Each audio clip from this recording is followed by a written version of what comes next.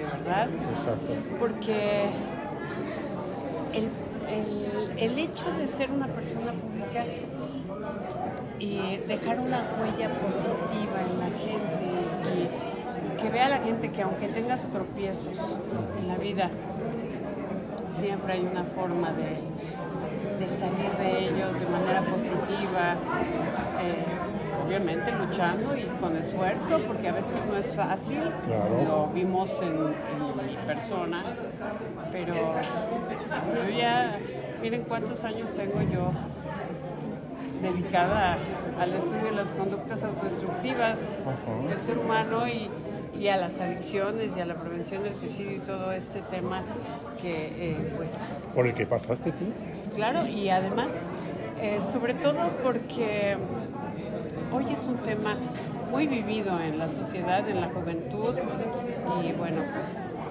que lo que queremos es que les den les demos la vuelta a ese tipo de cosas y vivan felices. Pero siempre quedan secuelas de repente, ¿no, Carmen? Pues yo, bendito Dios, no tengo. Gracias a Dios.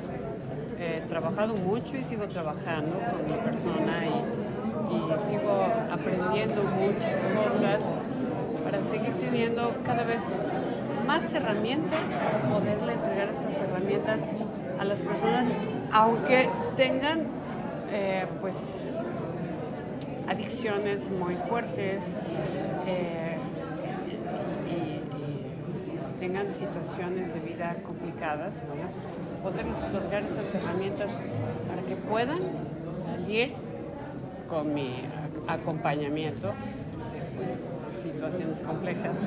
Carmen, ¿y qué opinas justo de esta situación? Es como ahora que hay entre la juventud del hate que se vive en redes sociales y que ya es también otra forma de hacer daño y que muchos no están preparados para hasta los comentarios que te hacen feos y, todo lo que lo que existe. ¿A ¿Tú cómo lo has llevado también a cabo? Porque pues no es fácil de repente que te critiquen y que de una noticia te empiecen a inventar cosas. Bueno, pues sí, es todo un tema porque ustedes saben que yo lo viví mucho eh, cuando estaba yo en, en pleno, en plena etapa de consumo, que todo fue que si mi nariz, que si eh, la Capullaxo, que si esto, que si lo otro, que muchas cosas, ¿no? Y yo le agradezco a toda la gente, a todo el público querido, a toda la chaviza, yo, eh, de verdad, que hoy son mis amigos y seguidores, eh, cómo han reflexionado y le han dado la- el giro junto conmigo para, para hacer comentarios positivos, ¿sí? Y ver eh, todo ese trabajo de estructuración que yo, que yo tuve con mi persona, pero sí hubo un momento en que me, dieron por todos lados Sí, este, Hasta en las redes, sí, sí hicieron memes y... Te dieron muy fuerte, Carmen. ¿Cómo aguantaste también toda esa, esa crítica? la- Sí, pues porque Diosito me la dio, pero sí, hubo momentos en que sí me pegó, sí me pegaron algunos comentarios, eh, porque estaba en una etapa muy vulnerable.